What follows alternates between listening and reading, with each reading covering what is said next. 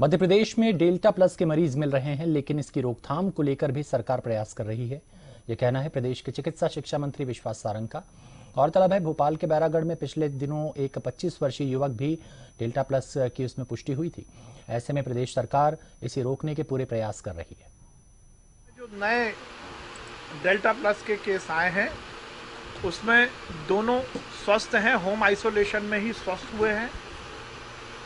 एक को वैक्सीन लगा हुआ था और दूसरे को वैक्सीन नहीं लगा था।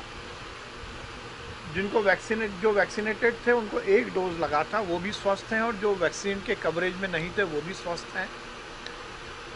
हम माननीय मुख्यमंत्री जी के निर्देश पर लगातार उसी गति से टेस्टिंग कर रहे हैं जो हम कोरोना के पीक समय पर कर रहे थे।